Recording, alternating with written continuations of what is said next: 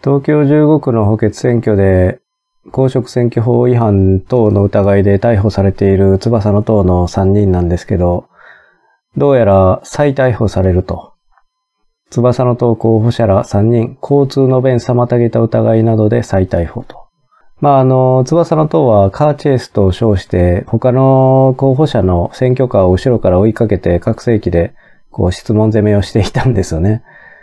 で、まあ、それは見てる側からすると、なんていうのか、こう、もっとやれというような気持ちにはなったんですけど、まあ見ながら、これはどうなのかなと。翼の党の主張では、カーチェイスすることも、事前に警察に説明してるというのか相談していたようなんですよね。こういう後ろについていって質問するのは大丈夫かみたいな。まあ警察が何て答えていたのかわからないですけど、翼の党の主張としては、あの警察が OK と言ったから OK なんだとか言いながら やってたと思うんですけど、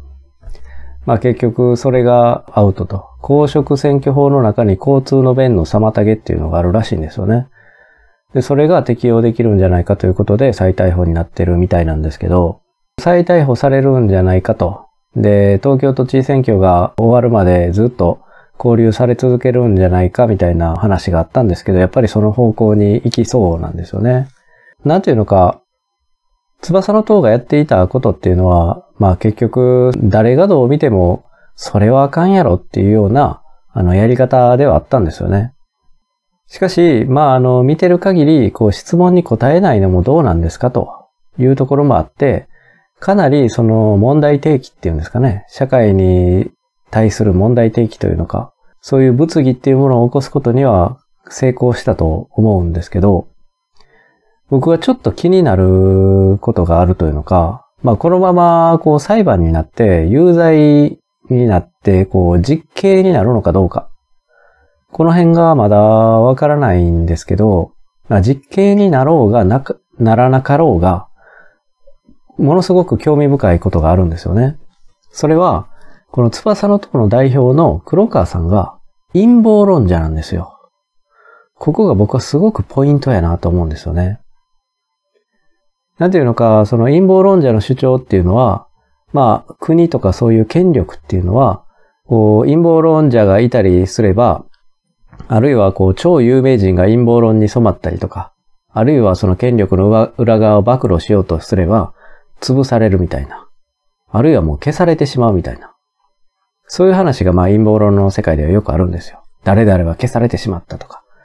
まあガーシーさんは逮捕された理由はその陰謀論的な解釈でいくと、権力にこう逆らってしまったみたいな。で、翼の党がこうやって逮捕されているのもその可能性があるんじゃなかろうかみたいな話もあったりするんですけど、で、さらに、堀江さんですよね。堀江さんが逮捕されて以降、堀江さんは、まあ、国の重要な、あの、方向性に関しては、文句を言わなくなっているっていうんですかね。まあ、2020年ぐらいから始まった流行病に関しての、まあ、予防のための措置であったりとか、ああいうものも国の、こう、言う通りに、こう言っていたっていうんですかね。でそれが逮捕されて交留されている間に、こう何かしら口利きがあったんじゃないのかとか、肩を叩かれたんじゃないのかみたいな。なんかそういう噂があったりするんですよ。で、翼の塔はまさに政治犯なので、これ、権力にとって都合の悪い情報を流さんように、こう刑務所の中でとか、なんか交流中にとか、なんか洗脳されてしまう、あるいは脅されてしまうみたいなことがあるのかどうか。この辺が、こう、黒川さんはおそらくそういうことされても、こう洗脳されないと思うんですよね。もしあったとしたら、こう、シャバに出てきた時に、暴露すると思うんですよ。それが僕は今、すごく楽しみというのか、だから、なるべく実刑にならないように、出てきてほしいっていうのもあるんですけど、しかし、実刑になった方がより一層そういう、こう、社会で余計なことを暴露すると、またこういう目に合わすぞ、みたいな。堀江さんに関してはそういうふうな脅しが効いてるんじゃないんですかというような陰謀論もあるんですよね。刑務所の中で、こう、いろいろ言われてしまったがために、こう、社会の闇に対してとか、権力の大きな力に抗うようなことをしないように、何かしら洗脳なり説得なり刑務所の中でされたんじゃなかろうかみたいな話があるんですけど、その辺がこの黒川さんが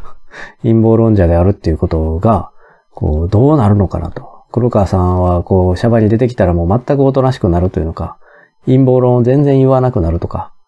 なったらなったで、おやおやって思いますよね まあ、黒川さんなら、そういうことがあったら、こういうことがあったんだと、言いかねないっていうんですかね。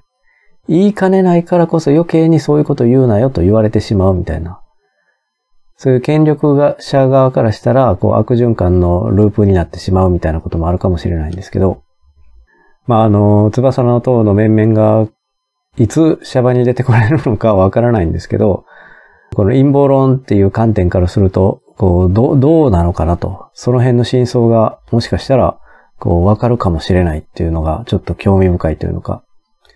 まあ、何もありませんでしたと。黒川さんが言ったとて、